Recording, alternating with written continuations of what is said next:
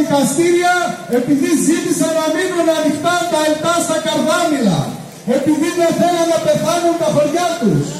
Απαιτούμε τώρα οι πρόεδροι τεσσάρων χωριών της Χίου σέρνονται στον εισαγγελέα γιατί έκανε το αυτονόητο. Δεν θέλαμε ερημώσει το νησί μας.